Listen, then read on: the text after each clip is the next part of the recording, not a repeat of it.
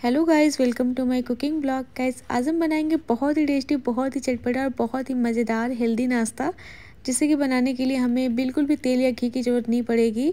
और ये बहुत ही हेल्दी है, इसे बच्चे, बड़े सभी को खाना चाहिए और बहुत ही फटाफट पाँच मिनट बन के तैयार भी हो जाता है। तो इसे बनाने के लिए मैंने यहाँ पे एक कप मूंगफली लिया है और इसे मैं ड्राई रोस्ट कर रही हूँ। तो इसे अच्छे से क्रिस्पी होने तक ड्राई रोस्ट कर लेना है लो टू मीडियम फ्लेम पे। तो जैसे ही मूँगफली में क्रैक्स आ जाएँगे और इसके छिलके अलग होने लगेंगे ना, उतना ही हमें बस इसे रोस्ट करना है। तो मूंगफली को बस ऐसे ही कंटिन्यू चलाते हुए रोस्ट कर लेना है। और जो ये स्नैक्स है ना, आप शाम में बनाएँगे तो आपके घर में सभी को पसंद आएगा। आप इसे जब चाहे बना सकते हैं। बहुत ही फटाफट बनने वाला है और खाने में भी बहुत ही अमेजिंग लगता है। यहाँ पे मैंने मूंगफली को ड्राई रोस्ट कर लिया है, इसे एक बोल में निकाल लेंगे और इसे थोड़ा सा ठंडा हो जाने देंगे। तब तक हम कुछ सब्ज़ियाँ कट कर लेते हैं।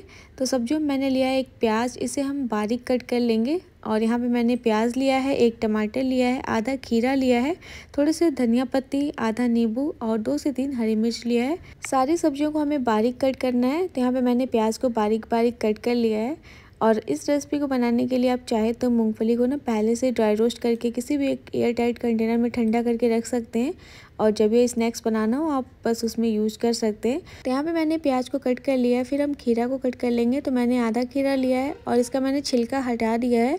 इसका छिलका हटाने के बाद इसे बारीक कट कर लेना है। फिर हम टमाटर को बारीक कट कर लेंगे। तो सभी चीज़ों को ना एकदम बारीक कट करें जितना हो पाए।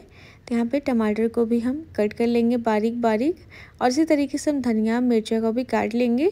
तो सभी सब्जियों को बस बारीक कट कर लेना है। तो यहाँ पे आप देख सकते हैं, बस ऐसे ही सब्जियों को बारीक कट कर लेना है।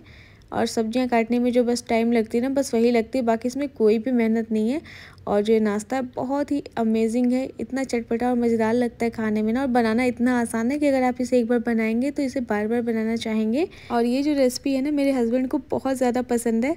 और आप अगर अपने घर में ट्राई करेंगे ना तो आपके घर में भी सभी को बहुत ज़्यादा पसंद आएगा, क्योंकि ये बहुत ज़्यादा हेल्दी भी है और साथ ही में बहुत ज़्यादा टेस्टी भी है। यहाँ पे मैंने सब्जियों को इसी तरीके से बारीक कट कर लिया है, सारी सब्जियों को मैंने कट कर लिया है। फिर हम क्या करेंगे, जो सारी सब्ज़ियाँ हैं ना, उसे हम डाल लेंगे इस बोल में, जिसमें हमने पीनट रखा है।